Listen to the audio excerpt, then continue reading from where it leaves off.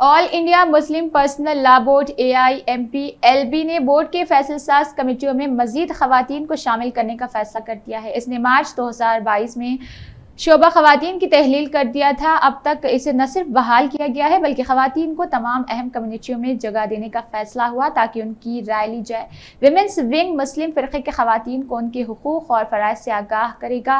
महँगी खवतिन अरकार शादियों, जहेज़ के ख़िलाफ़ मुहिम चलाएँगी। वो मुस्लिम ख़ानदानों को ये बताएँगी कि लड़कियों को जहेज़ के बजाय जायदाद में हिस्सा दिया जाए। बोर्ड के रुकन doctor S Q R Ilyas Syed Qasim Rasool Ilyas ने बताया है कि शुबा खवतिन इतवार के दिन बोर्ड की मीटिंग में बहाल हो गया। सारे मुल्क में बोर्ड के दो सौ इक्यावन अरकान हैं, जिनमें तीस खातन के हैं। आमिला कमेटी में इक्यावन अरकान हैं, जिनमें चार खातन को शामिल किया गया है। उन्होंने कहा कि अब मुस्लिम पर्सनल लॉ बोर्ड के शोबा खातन में एक कन्वीनर और पाँच ज्वाइंट कन्वीनर होंगी। डॉक्टर इलियास ने यह भी बताया है कि बोर्ड ने निकाह नामा आसान कर दिया है। अब ये बास तब्दीलियों के साथ चार सफात से दो सफाओं का होता जा रहा।